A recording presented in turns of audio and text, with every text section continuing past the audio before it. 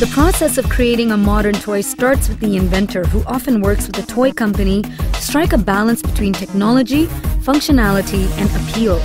It's a flying toy with flapping wings. That's different from any other propulsion technology.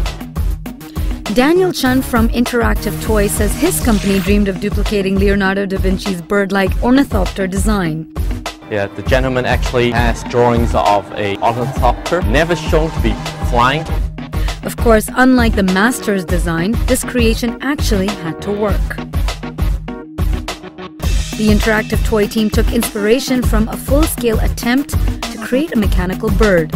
The vamp is actually powered by a gearbox and then crank the wing and different from any propulsion technology which use propellers uh, of some sort. Either way, you're actually trying to gain lift or, or thrust.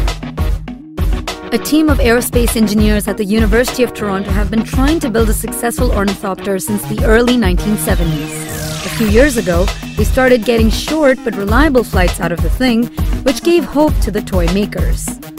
The secret for both full-size and toy ornithopters was to allow the wings to create more upward lift while flapping down, then disturbing less air while moving back up. In both cases, the wings also had to withstand the pressure exerted by the constant flapping.